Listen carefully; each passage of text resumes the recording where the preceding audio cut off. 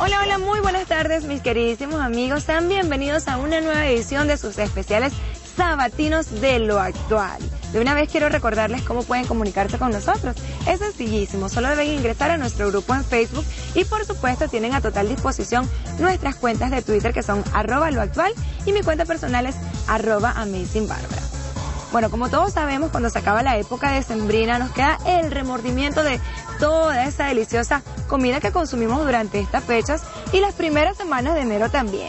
Obviamente la idea es quitar todos esos kilitos que están de más. El yoga es una disciplina que ha conquistado a famosos y a los no tan famosos. Es por eso que este especial se lo dedicamos a esta disciplina. Yo me fui a una clase, así que los invito a que se pongan cómodos y vean cómo me fue.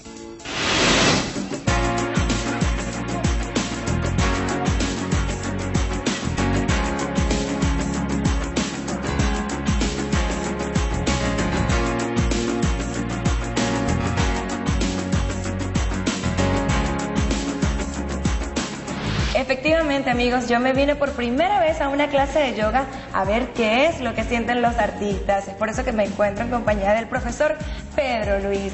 Bienvenido, Pedro Luis, a lo actual. ¿Cómo Gracias, estás? Bárbara, bien, contento. Muy de bien. Haber compartido contigo aquí. Eso me gusta. Bueno, coméntanos en principio qué es el yoga. El yoga es una, una disciplina que se utiliza para calmar la mente, Ok. principalmente. Una, una- una disciplina con ciertas rutinas físicas de movimiento.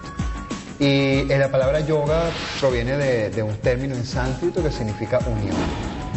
La unión de, de- de la, de la mente con el cuerpo, del espíritu con, con- con la conciencia.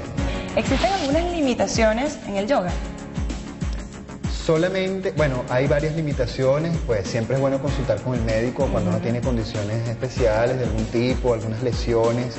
Por ejemplo, las mujeres embarazadas no deben hacer yoga hasta el tercer mes del, embarazo. Pero sin embargo, después del tercer mes lo Sí. recomiendan mucho porque puede buenísimo. traer beneficios a la hora de dar a luz, ¿no? cómo no. Este, ayuda para, para- para dar a luz. Los bebés nacen con cierta fortaleza también porque ellos están allá adentro mientras la madre está haciendo yoga y también hacen, fortalecen sus musculitos. Me comentaste que esta práctica eh, es la que realizan muchos artistas, ya que los ayuda Sí, sí. A mantener este, su figura. esta, esta práctica, este yoga dinámico, este, muy relacionado con el Ashtanga Yoga, que es también el estilo este, que practicamos aquí, está, es el que le encanta a, a diferentes famosos. Por ejemplo, está Madonna, está Mick Jagger, está Madonna. William Defoe.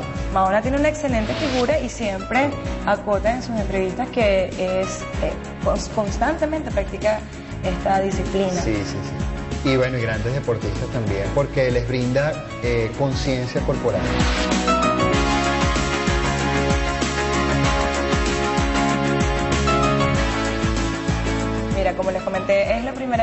Realizaba una, una clase, clase completa y yo me imaginaba siempre que el yoga era paz, tranquilidad, armonía y sudé, como dijiste tú. O sea, es un esfuerzo físico que realizas bastante fuerte, pero sin embargo es tranquilidad, armonía, es perfecto. Claro, porque de, de qué se trata el yoga? El yoga físicamente nos va a retar con mucho movimiento sincronizado con la respiración, con muchas posturas que son difíciles de, de mantener, Sí. son posturas totalmente que, que uno no hace nunca, sino solamente en esos momentos. Cuando el cuerpo se estira, por ejemplo, Sí. este, sientes que las piernas, tu Sí, espalda, mucho el abdomen, mucho esfuerzo y justamente el reto está es dentro de esa postura tan complicada poder respirar profundo, agarrar como yo les decía en la práctica, tomo una inhalación, una exhalación y en esa respiración profunda encontrar el silencio de la mente.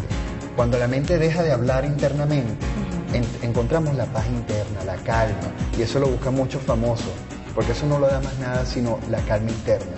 La paz solamente la da el silencio y la calma de la mente. Bueno, maravilloso, Pedro Luis. Muchísimas gracias por acompañarnos en esta oportunidad en lo actual. Gracias, Nosotros vamos a continuar con nuestro especial del día de hoy.